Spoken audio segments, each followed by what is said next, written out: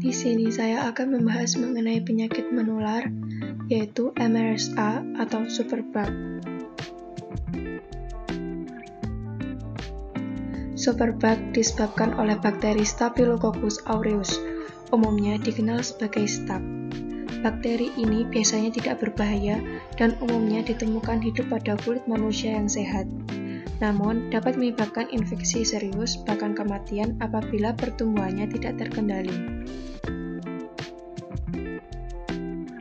Akibat penggunaan antibiotik yang irasional selama beberapa dekade, muncul penyakit Staphylococcus seperti MRSA yang tidak dapat lagi diobati dengan berbagai antibiotik yang umum digunakan. Terdapat dua jenis MRSA, yaitu Hospital Acquired MRSA atau HI-MRSA. HI-MRSA didapat melalui infeksi nosokomial, dan dapat menyebabkan infeksi yang serius seperti infeksi pada aliran darah dan paru-paru. Pasien dengan kekebalan tubuh lemah seperti penderita HIV AIDS atau kanker menggunakan perangkat rumah sakit serta menjalani rawat inap lebih dari tiga bulan memiliki risiko lebih tinggi terinfeksi HIV-MRSA.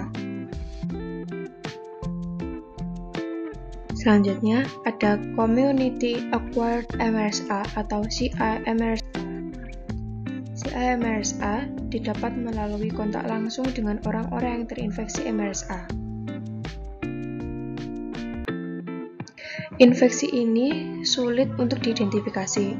Umumnya didapat ketika seseorang sering melakukan kontak langsung dengan orang lain, bekerja di rumah sakit, berbagi barang-barang pribadi, memiliki perilaku seks yang tidak aman, serta tinggal di lingkungan yang padat dan kumuh. Staphylococcus aureus merupakan anggota kelompok kokus gram positif yang paling ganas dan paling terkenal. Staph aureus menghasilkan racun dan enzim yang membantu mereka memicu respon imun dan menghancurkan jaringan sehat dalam tubuh. Infeksi ini muncul sebagai infeksi kulit sederhana, tetapi dapat berkembang menjadi penyakit yang mematikan. Gejala infeksi MRSA umumnya berbeda-beda sesuai dengan jenis yang dialami. Pada HI-MRSA, gejala yang dialami adalah batuk, demam, lemas, menggigil, nyeri pada dada, otot, kepala, serta sesak nafas. Sedangkan pada Syiah MRSA, pasien akan mengalami gejala bengkak, bernanah, kemerahan, serta nyeri.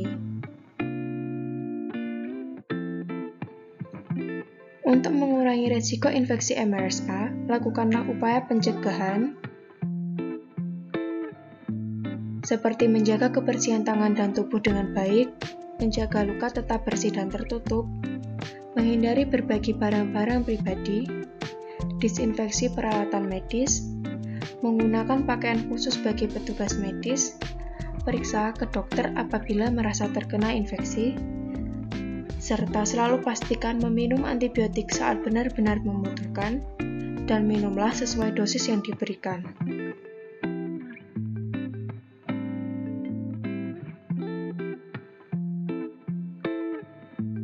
Terima kasih telah menonton video saya mengenai MRSA. Saya harap kita dapat memiliki pemahaman lebih baik tentang penyakit MRSA.